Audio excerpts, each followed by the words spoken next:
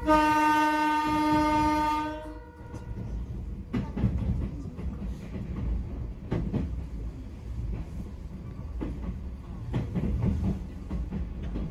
車ありがとうございます。伊東線普通電車熱海行きです。